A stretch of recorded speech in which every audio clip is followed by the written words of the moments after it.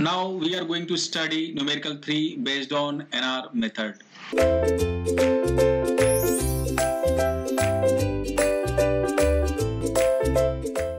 The given question is in load flow solution the size of Jacobian is 100 cross 100 if there are 20 PV buses in addition to PQ buses and a slack bus. The total number of buses in the system is.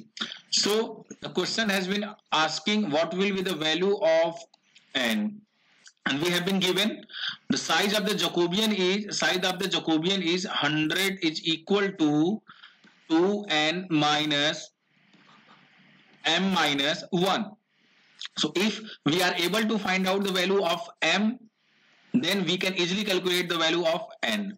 So m, how we'll calculate it? m, we know that m is the value of number of PV buses including slack bus. So here it is 20 PV buses and here it is a slack bus here in the question.